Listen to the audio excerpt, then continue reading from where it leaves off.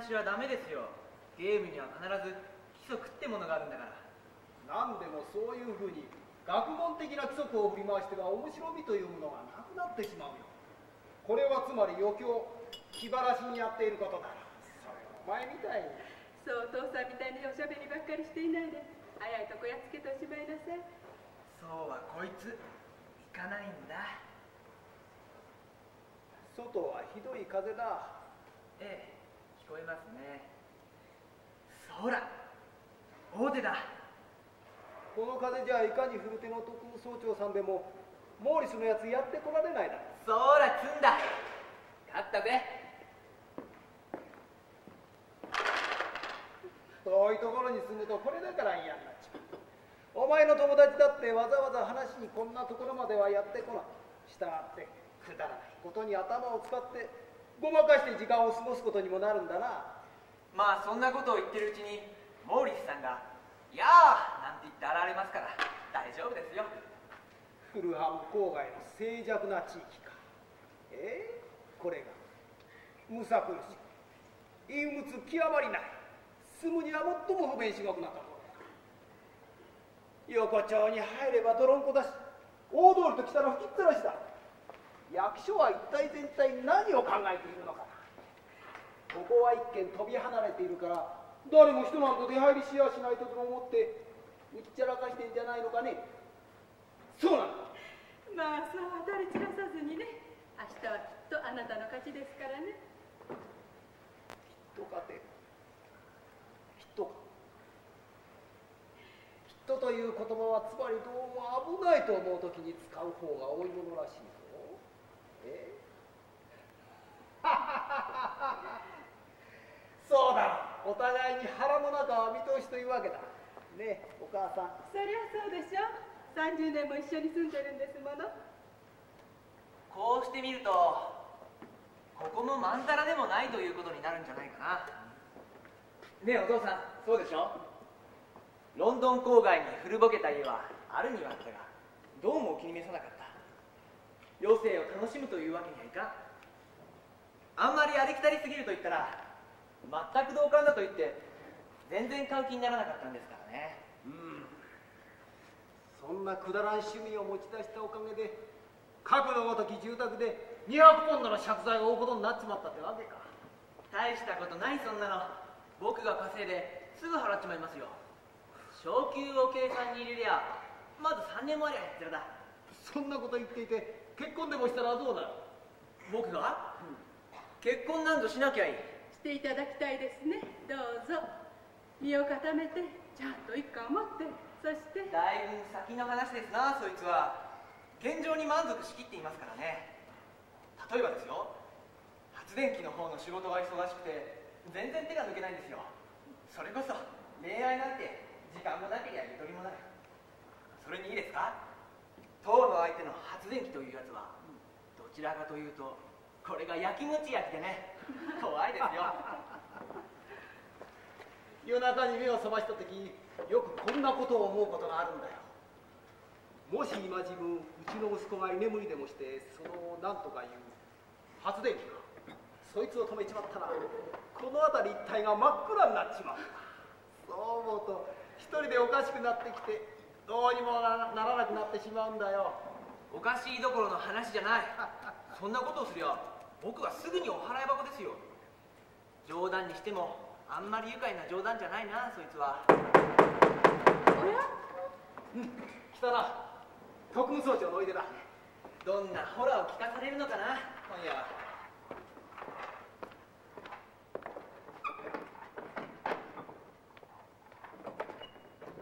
あなたまた入り口の戸を乱暴に扱って壊したりしないでください。さあ早いとこ入りたまえこれ以上受けたら風に受け飛ばされるさあさあひでえひでえ。一マイル近近くも墓場を抜けてからかかるだろう。そらひどいもんだ。頭の毛が吹っ飛んじまうかと思ったよ。席をよこして。いや並大抵のことじゃ出かけられんよ君んところだからどんなことがあってもと思ってね支度をされているだろうからな。モーリスと副総長が見えたよ。ああお寒かったでしょ。さあさあ火のそばにおいでになって。いや奥さんこんばんは。いや君はどうだい？え元気かね？今自分うちにいてもいいのかね？ああ夜勤じゃなくて日中勤務かね今週は。いや今週も夜勤ですがまだ30分ほどあるんです。さああ。あこれはどうも。どうもどうも。ああこりゃあいい。チトラル戦線の塹壕とは大した違いだ。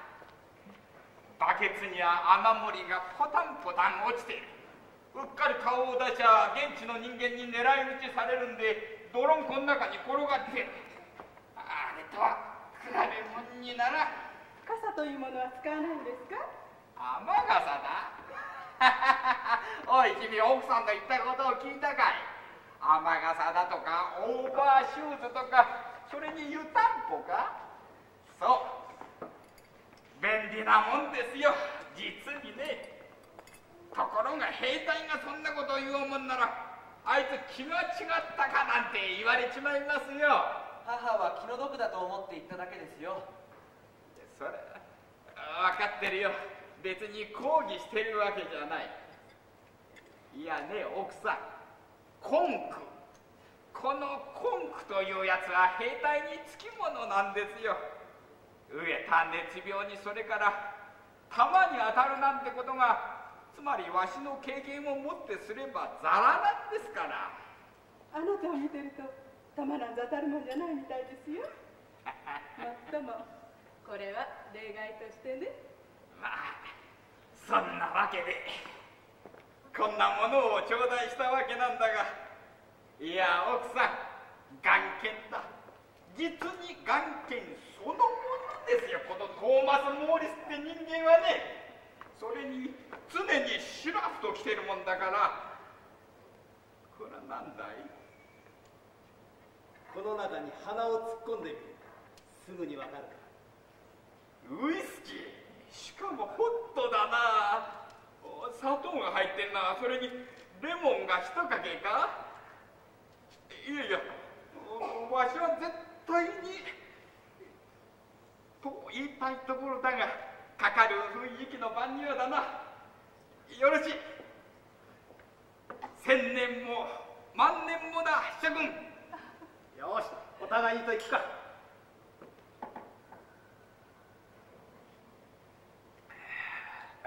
君はどうしたい？仲間に入らんのかね？いや社交性に欠けてるというわけじゃないんですけど仕事の関係上ちょっぴりでもどうもまずいんですよ。頭をはっきりさせて手足をしびれないようにしてしておく必要があるんです。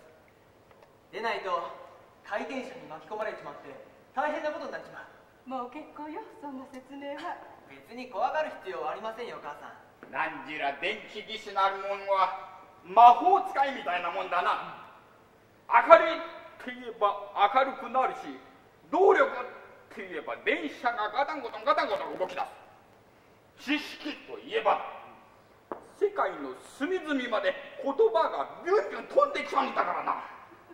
いやこれにはさすがのわしも一本参った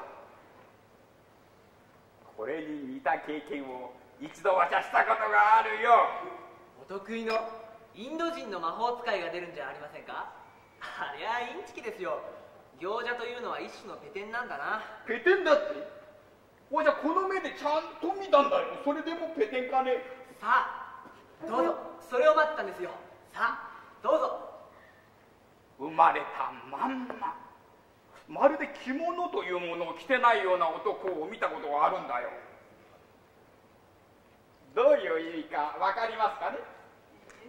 ではそう。空のバスケットを想像してくださいよ。空の何にも入ってない空っぽの。そう。このコップのように。よしこっちへよこしたいやわしはそういうつもりで言ったんじゃないんだよ。ただ例えに出しただけだったんだがね。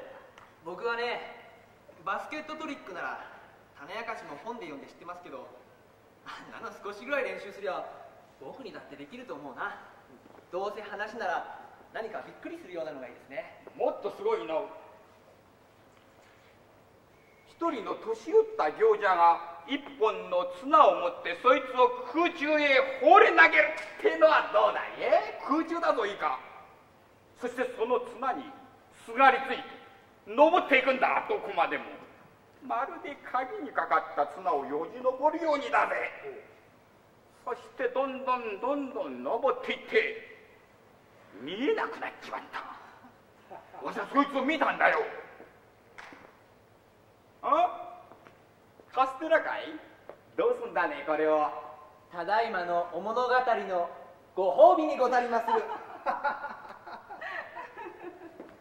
わしの言ったことを信用しないんだな。いいえ。お客様をただ面白がらせてるだけなんですよ。そんなことをしては失礼ですよハーバート。この子はなかなか冗談がうまいんだ。しかし今の話は本当のことなんだぜ。いろいろと思い出すことはあるけれどもそういうことならこれ以上そのお物語は一切やめにしよう。バカだなこいつちょっとした冗談ぐらいで怒ったりするやつがある。か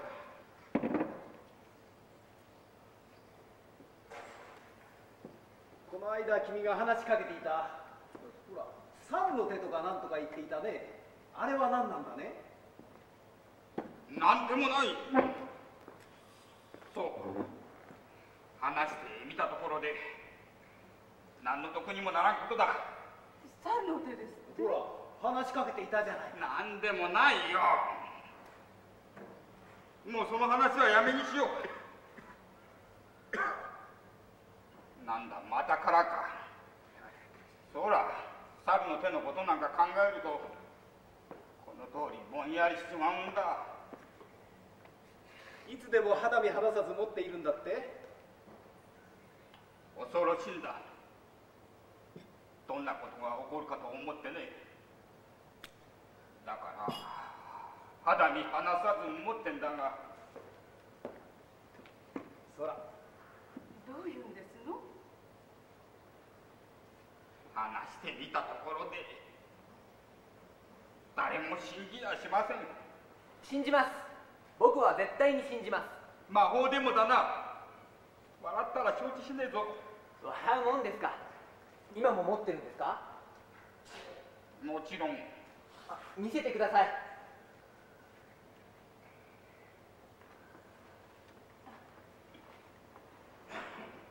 まあ見たってどうってことのない代物でね。ただ普通のちっぽけな猿の手さ。干からびちまって。ミイラみたいになっちまったが。これですよ。こっちにも見せてください。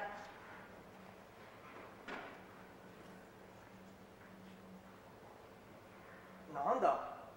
すっかり干からびちまってるじゃないですか。そうなんだ。ひどい風になりましたよ。でこれに何か特別なわけでもあるの？かそうなんだつまりこの猿の手には魔力があるんだ。まさか。年寄った行者がいたんだがね。非常に偉い聖者だった。15年間一つところにじっと身をかがめて座っていた。何かを考え続けていた。人間の運命を左右している。運命を解き明かそうとしたんだ。我々の前世からの定め。それを実際に明らかにすることだ。逃れること。絶対にできない。逃れようとすれば立ちどころに不幸に見舞われてしまうということだ。そしてこの猿の手にまじないをかけて三人の人間がそれぞれ三つずつの願い事ができるようにした黙ってしかし肝心なことはですよ。この願いは必ず叶えられる。ところが三人が三人とも必ず後悔しそうならなければよかったと思うようになっちまうんだな。しかしどうして願いが叶うなんてことがあるのかねその行者はどうしてなんてことは何も言ってないがね。いかにも自然に叶えられるんだそうだ。だからもしそんなことになれば偶然の一致として片付けちまうんだろうな一般には。あなたも何か一つ試してみれば面白かったんですがねやってみたさ三度とも願ってしまったんですか？叶えられまして。叶えられました。君以外にはどうなんだ？誰か他の人は？最初の持ち主が三つの願い事をしたんだ。そうだ彼の願いは叶えられた。わしは最初の二つがどんな願いだったかその内容は知らないがしかし最後の願いは死ぬということだったよ。そうしてこの猿の手はわしのものになったんだするとなんですね。何か願い事をするなら絶対に不幸にはならないことを願ってみるということですね。いや。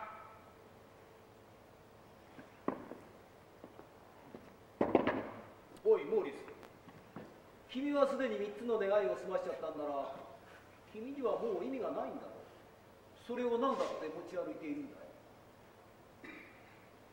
考えてみればおかしいんだなわしも何度も売ろうとしたんだ。だがどうしても売れない。すでに数々の災害を表すのを見てきてるからね。それにだ。誰もこんなもの買いやしないじゃないか。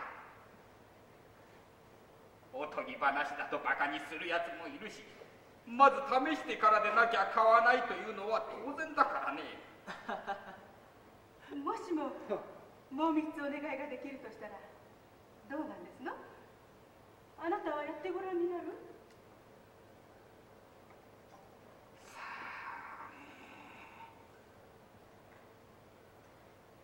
わからんですね。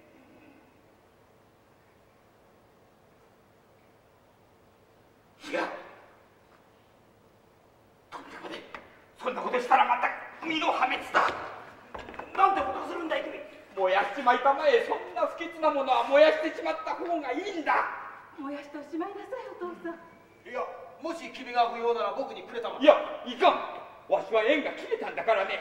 火の中に投げ込んだんだからね。もしも君がそんなもの持っててどんな不幸が起ころうともわしのせいじゃないといいかね。それよりも早く投げ込んだ方がいい。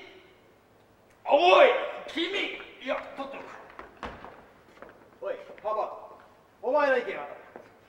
欲しいものならもらっといたらいいでしょう。あんまり馬鹿げていて意見もクソもないですよ。あんまり馬鹿げていたか。そうだよ。俺だってどっちつかずでね願わくは。いややめろ！やり方が全然違う。やり方ってなんだい？そんなものいじくりばさないでおいてくださいよ頼みますからね。私が言いたいのもそこなんですよ奥さん。しかしやり方を教えておかないとその気でもないのに願い事をするかもしれませんからね。そいつを右手で持ってそして大きな声で願うんだ。しかしまかに間違ってもそんなことをしちゃいかんよ。絶対にいかんよ。まるでアラビアンナイトみたい。どうも2本の手で当たりません。どうぞ4組の手を与えてやってくださいなんて。お願いしたいんじゃないの？その通りなんだよお母さん。願わく。やめどうしても願わなきゃならんと言うならもう少し気の利いたことを願えよ。これは見てられんよ。気が変になりそうだ。わしのコートはどこだい？工場が同じ方向ですからちょっと待っていてくださいませんか？いやわしの頭を一発ガンとやられたんでね外行って心機一転したいんだ。君が願い事をするのを旗で見てなんといられんよ。しかもわしが一歩外へ出るか出ないうちに君は願い事をするだろうさ。分かってるよ。分かってるよ。しかしわしは君に忠告したぜ。ええいいかい？大丈夫だよモーリスそう心配してくれなくてこちらは大丈夫だから。どうぞ。受け取れんよ。受け取るもんだよ。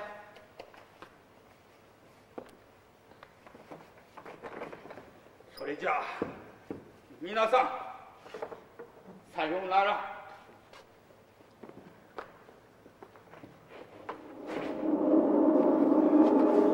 火にくべちまえよ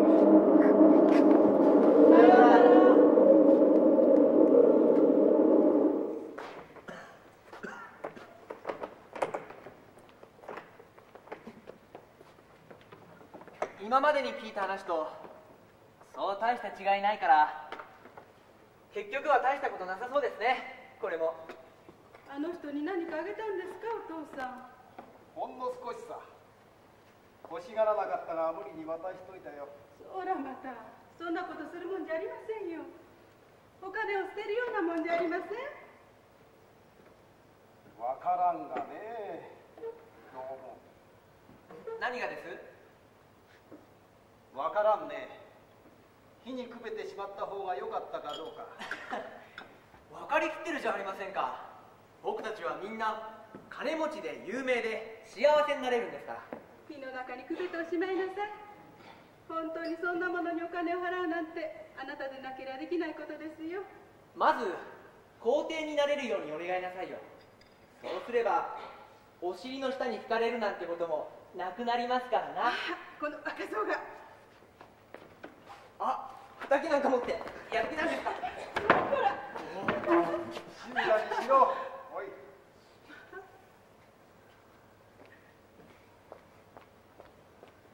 どうも不思議だ何と願ったらいいのかわからんというのが実情だ。まるで欲しいものなんか何一つない。満ち足りているようだお父さんもしこの家の負債だけ片付ければ幸せこの上なしってことになれるんじゃないですか？ねえそうなさいよ。200ポンドお願いなさいよ。それなら差し障りがないですもの。やってみるか。さあどうぞ。僕がピアノを弾いて気分を出しますからね。やめてくださいよそんなこと。冗談にもやめてください。さあいいですか？お父さん。よし。やるぞ。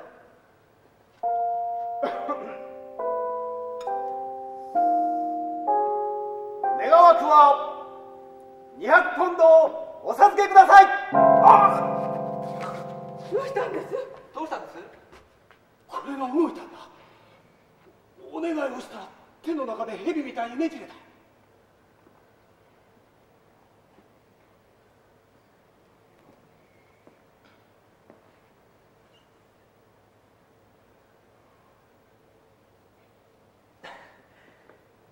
バカだなお父さん。どうしたってんです？まるで骨のように硬いじゃないですか。そんな気がしただけ。そうですよところでどうもお金なんぞ見当たらないな。僕は絶対にお目にかかれないと思う。断言しとく何よりだった。何にも悪いことが起こらなくて。しかし驚いたよ。11時半か。さて行かなきゃ。12時には仕事ですからね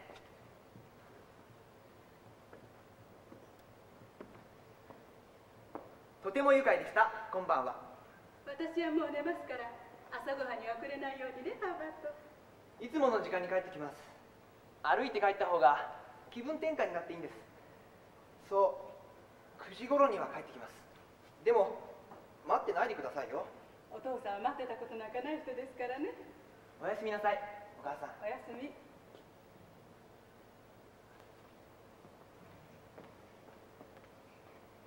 おやすみなさいお父さん。ベッドの真ん中にね現金が縛り付けてあるかもしれませんよ。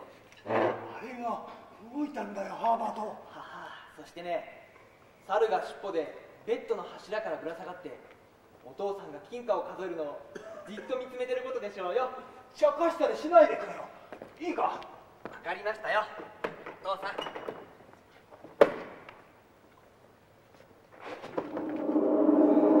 わあひどいふりだおやすみなさいおやすみ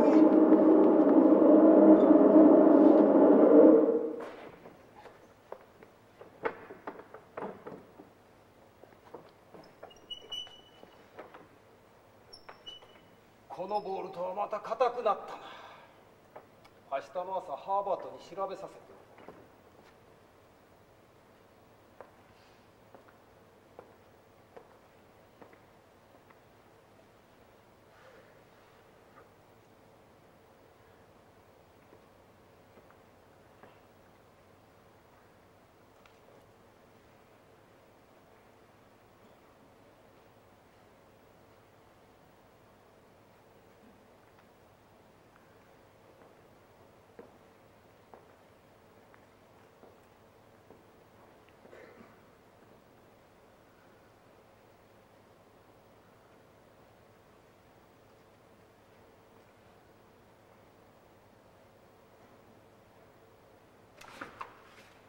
お母さんお母さんどうしたんですいや何でもないんだよ。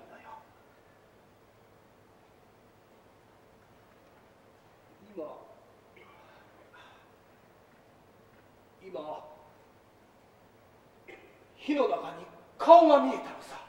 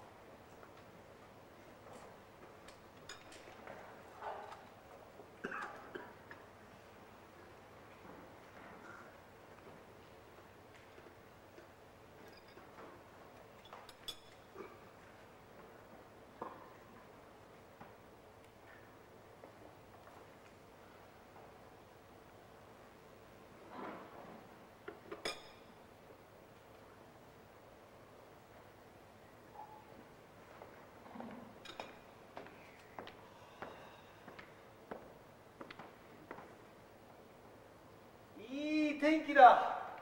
工場から歩いて帰ってくるにはもってこいだよこりゃ。何時ですの？かり9時15分前。着替えやなん8か時が更けですから。30分かかるとして今ちょうど5時のあたりを歩いてくる。もう10分もすれば帰ってきますよ。今朝は何だい？ソーセージです。ああ汚らしいこんなところに猿の手が。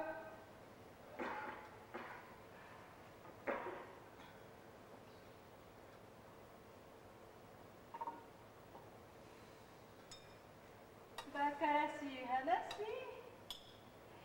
あんなバカらしい話って聞いたことありませんよ全く。総長先生の物語かね。年寄りの兵隊なんてどうせあんな程度さ。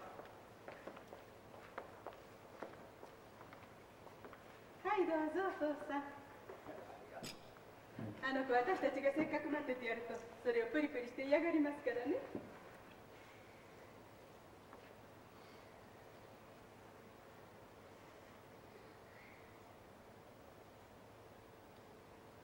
今時の世の中で願い事が叶えられるなんておかしなことを考えついたものよね全く。一晩中あんなことを本気にしてたのかい？ゴロゴロ寝返りばかり打たれるんで眠れるどころの騒ぎじゃありませんでしたよ私は。夕べはかなわなかった。大嵐になったんでしょ？ひどい音がして。気がつかなかったな。眠ってた 本当いや眠れなかったんだけどね。願い事が叶えられると不幸になるなんて具にもつかない話を信じたりするせいでしょう。200ポンドも舞い込んできて不幸になるなんて聞いたことありませんよそいつがドカンとわしの頭の上に落っこってくるんだよきっと。それ以外には考えられない。それだったらわしはじっと我慢してやるつもりだ。しかしねモーリスのやつに言わせるとなんかこう実に自然に起こるんですよだから偶然みたいに思ってね。でも今まで何も変わったことありませんね。そうでしょ？ということは結局何でもなかったってことでしょ？いつまでもよくそんな馬鹿げたこと言ってられること？何でしょう？郵便屋さん決まってるじゃないか。手紙を届けてきましたよジョン。何を届けてくるんだい？郵便屋だよ。山のように石炭か何か運んでくるのかい？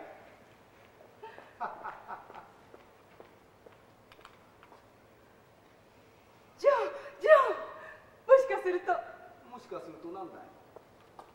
かすると200ポンドかもしれなくてよ。おいバカなこと言っていないで取ってきたらいいじゃないか。重いわよジョンそれに中身は何かパリパリしたもの。誰誰やってだい？あなたおいじゃあ口を落として。まったく変なことを考えつくやつだな。迷信深いばあさんだよまったく。俺の眼鏡は私に開けさせてください。さあ俺の眼鏡は探してくれ突然財産が転げ込んだってそんなに不機嫌になることないじゃありませんか。はいジョンここ。気をつけて。破かないでよ。破くって何？お札かもしれないでしょ。そそばへ寄ってくるなよ。イライラするじゃないか。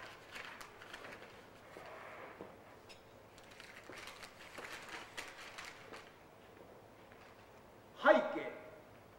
貴殿家屋を担保とし御用立て中の200ポンドに対する利子領収いたし候につき同風領収書ご冊収願いあげ候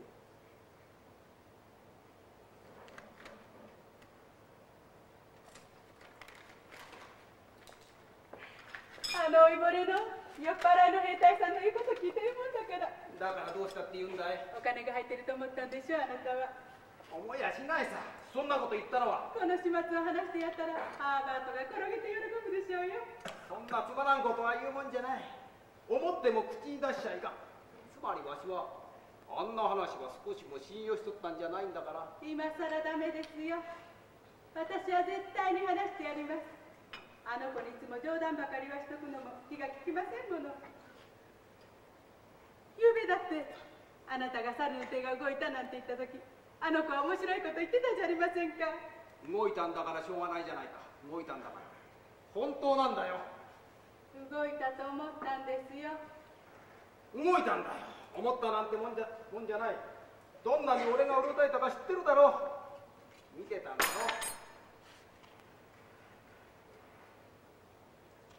話を聞いたらどうなんだどうしたんだ別に。ハ帰ってくるのが見えるのかい？いいえ。もう帰ってくる頃だがな。何かどうかしたのか？別に。男の人が一人。紳士らしい人がね。とにかく黒い服を着てシルクハットをかぶってる人が。それがどうしたんだい？門のところに立って入ってこようとしてるみたいでしたがでも決心がつかなかったようでした。はいはい。変なこと言うのはお前の方じゃないか。ああ帰って行きますよ。おや戻ってきました。覗いているのなんぞ見られるなよ。あこのうちを見ています。あ掛け金に手をかけましたよおやまた向こうへ行ってしまいました。ジョンちょっと弁護士さんみたいな人。それがどうしたんだい？あのねあなたはまた笑い飛ばしそうだけど。でもねもしかしたらもしかしたらあの人が200ポンド持ってきたのかもしれないし。二度とそんなことを言うもんじゃない。本当にバカなばあさんだな。ここへ来て朝ごはんを食べなさい。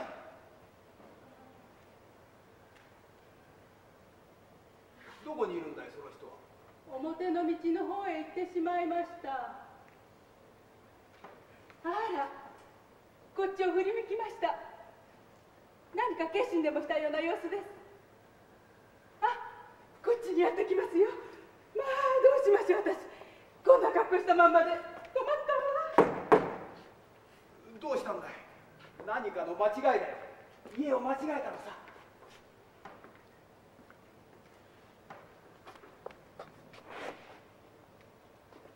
ホワイトさんのお宅でしょうか？どうぞ。ずっとお入りください。体操し散らかしたまんまにしておりまして。まだ着替えもしておりませんでも。まあちょったらおはようございます私サンプソンと申しますが。どうぞ。おかけになりまして。あ恐れ入ります。いやこのままで結構結構でございます。例年ですと雨天続きですが今日は上天気ですな。あはあそうですな私サンプソンと申しますが私が伺いましたのは。あのハーバードにご用でいらしたんでしょもう間もなく戻りますから朝ごはんも用意して待っておりますのよ。あいえ。いえ。電気工場からのようで参ったのですが。わざわざご一緒においでになったんでございますの？あいえ。いえ私はお宅へ一人で参りました。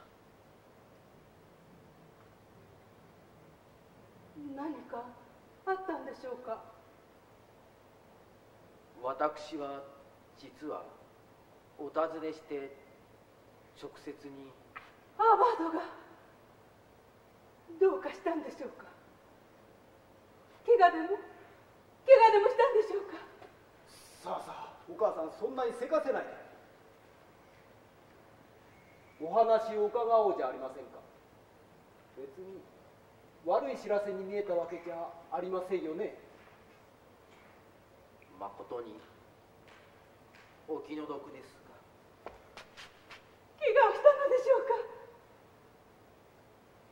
ひどいのですか。大変にあ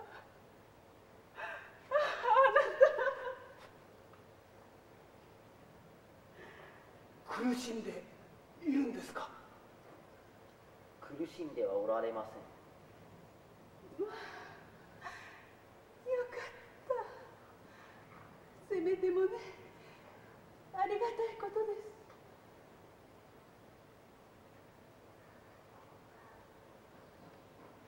すするとあなたは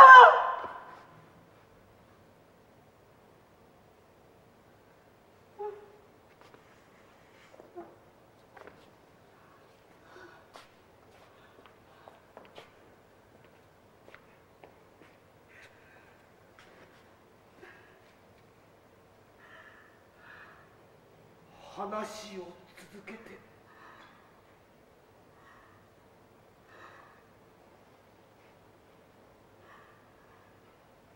ご子息は仲間の者たちに話をして聞かせておられたのです。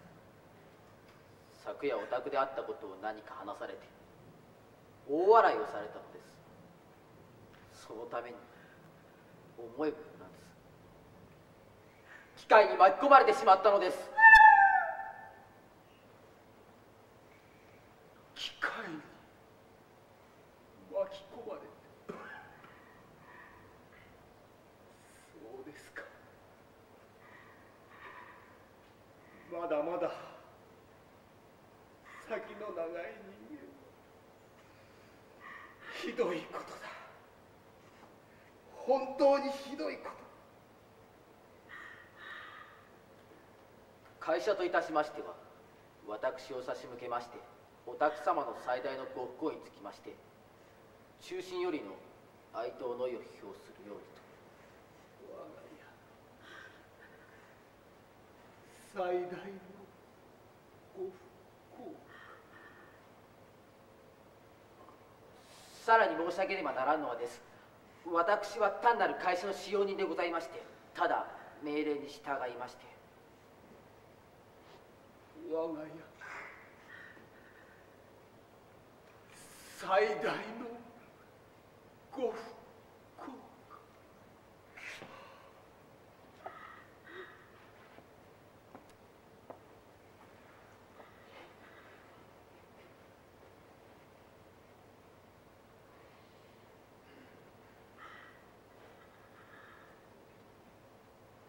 さらに申し添えさせていただきますがこの度の不祥事につきまして会社には一切の責任はございませんのですがご子息の生前よりの勤務ぶりに鑑みまして教育金といたしまして軽症ながらお届け申しますお受け願いますです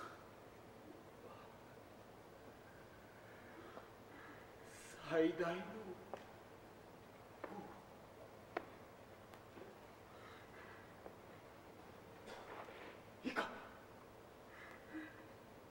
いかでしょ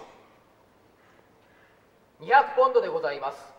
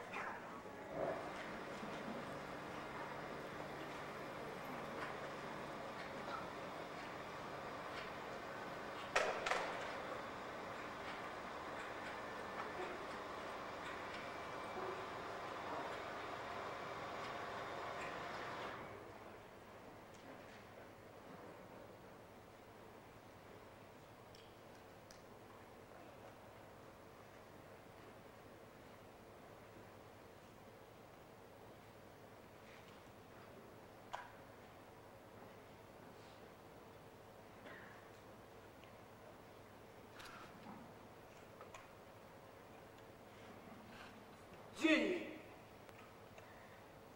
ジェニー。はい。どこにいるんだい？窓のところですよ。何をしているんだい？表の方を見ているんですよ。無駄だよそんなことをした。分かってるじゃないか。道の向こうには墓地があるでしょう。あの墓地にあの子を埋めたんですからね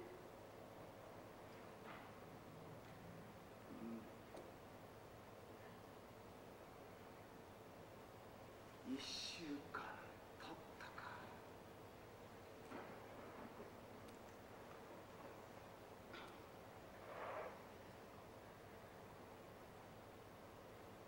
何時だい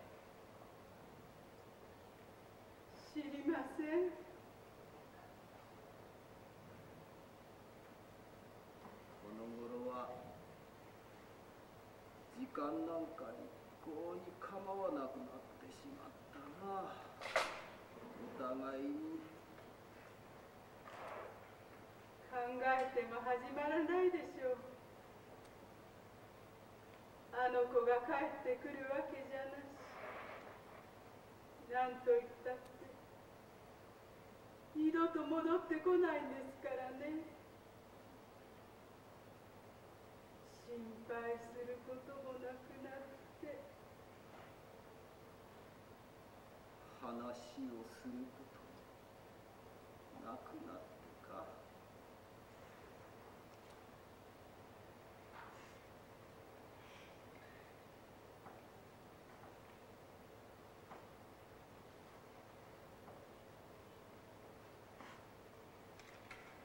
そう窓にばかりひっついていると冷え込んで風邪をひくぞ。あの子のいるところの方がずっと寒いですよ。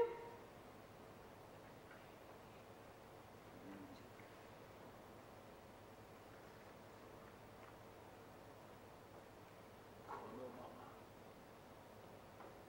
二度と顔を見せないんだな希望も何もみんな持って行かれてしまってそれに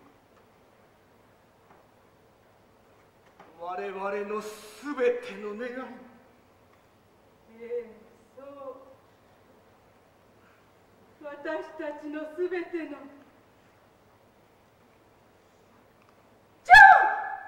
ジェニーどうしたのだい？あの手です。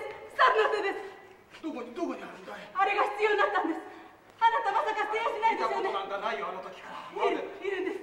見つけてください。見つけて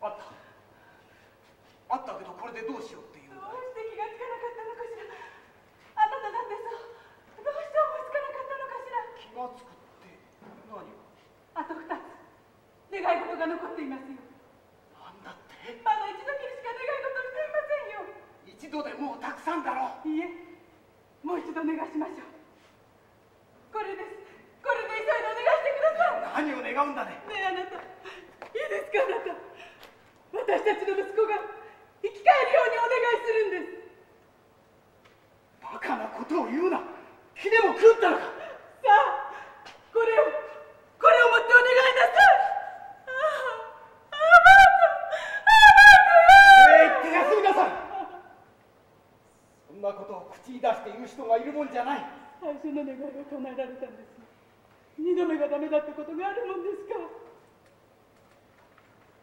あれが死んでからもう10日にもなるんだよ。それにジェニーいいかい？着物の切れっ端でわしにしてハーバートだと分かるほどのものだったんだよ。だからあの時お前には見せられなかったんだ。それを10日も経った今になって見ようなんて。絶対にそんなことを言うもんじゃない。どんな格好でも構いません。あの子を連れてきてください。二度と手を触れんよわしは。さあこれでお願いなさい。お願いして。お願いして。お願いしてお願いしてお願いしてお願いしてお願いしてお願いしてお願いしてお願いして。お願いして願わくは我が息子。生き返らせたまえ。ああ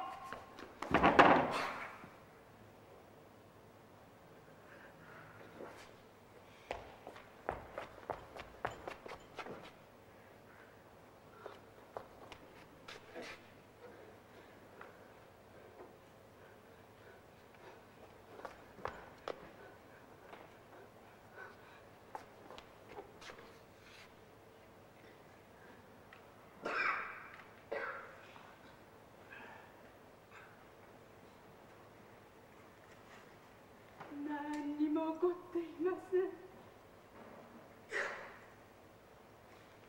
いや助かった。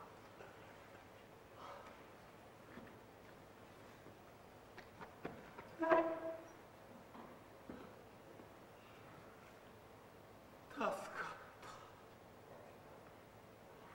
全然変わりがありません。道の向こうはずっとどこまでも人っ子一人いませんよ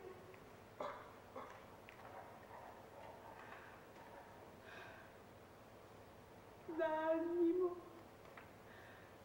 何にもそれこそ何にも残っていないんですよ私たちには二人きりだそれに思い出だけだ。もう年を取りすぎましたよ。お互いにあの子を頼りにして生きてきたのにやり直すわけにもいきません。すべてが空っぽで真っ暗闇があるだけ。それがあるだけになってしまいました。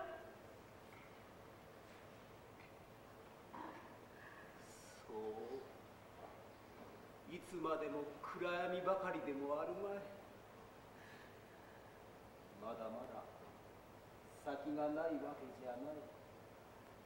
こうなって一分一分がとても長くて。こう暗いのは我慢できないよ。あマッチはどこだ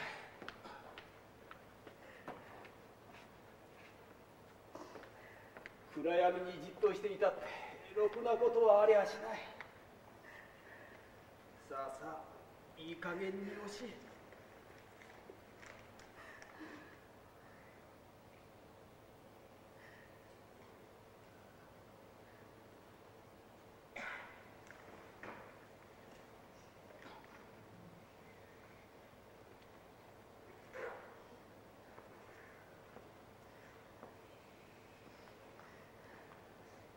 そうだ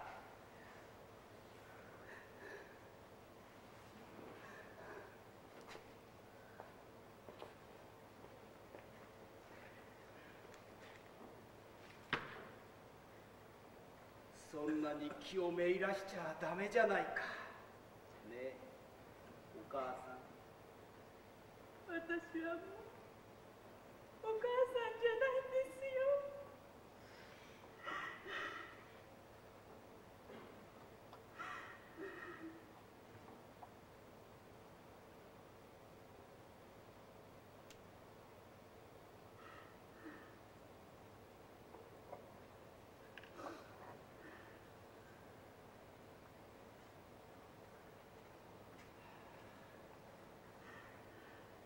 もう休みなさい。いいかね。すぐ後から行きますから。ここにいてもベッドに入っていても私はあの子と離れません。いつも一緒です。何でしょうあれは。ネズミさん家中いっぱいだからね。やめろどうするんだ。私の子ですよ。ハーバードですあの子が一マイルも離れているとこにいたことを忘れていたんですよ。なんで私を去るんです。と分けてやるんですよ。ご商売やめてくれ。行かせて。けちゃいかん。行かせてください。どんな風をしているか想像してごらん。自分の運動学を怖がったと思うんですか。行かせて。今行きますよ。ハーバード今行きますよ。そんなことしたらダメ。だというのに手だ猿の手だジョー上のジョーが硬いんですよ。動かないんですよ。